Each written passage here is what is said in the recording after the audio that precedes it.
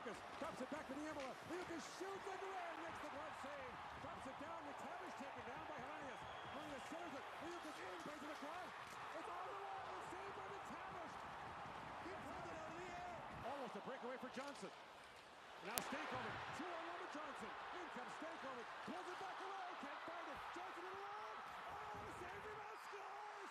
Kent Johnson, a golden goal in Canada.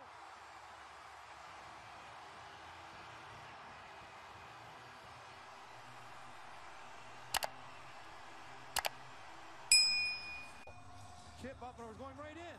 That's out of the air. Oh, onto the line.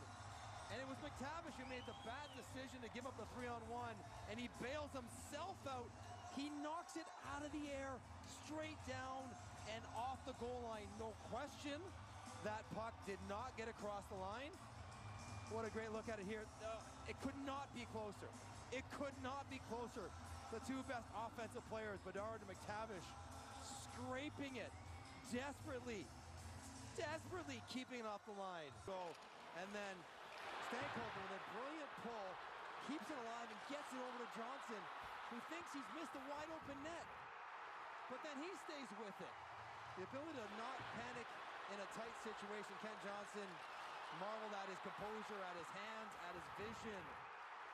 And man, oh man, the guy who has more shots, more chances, more expected goals the whole tournament of anyone ends the tournament with a little rebound. What a save.